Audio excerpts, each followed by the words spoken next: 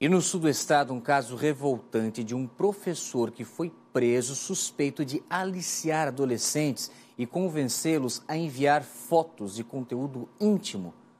A Emanuela Justino traz mais detalhes dessa investigação da Polícia Civil que resultou na prisão desse professor. Oi, Emanuela. Olá, Zanotto, e a quem nos acompanha aqui no Cidade Alerta. Esse professor atuava na rede municipal de ensino.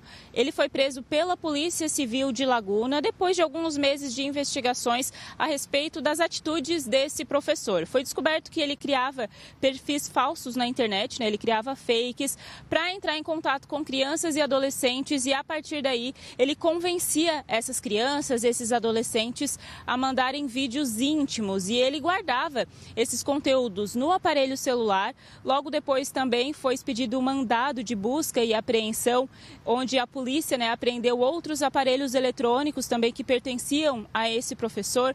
Foi constatado que ele tinha mais materiais e a partir daí, então, o Poder Judiciário decretou a prisão preventiva desse professor, né? E agora, é claro, seguem as investigações, apesar de ele já estar preso, segue para mais investigações, até mesmo para saber se ele aliciava, né? Se ele entrou em contato com outras crianças, outros adolescentes que ele mantinha contato por meio desses perfis falsos na internet, de que maneira ele atuava, né? Em outras partes aqui no sul do estado também.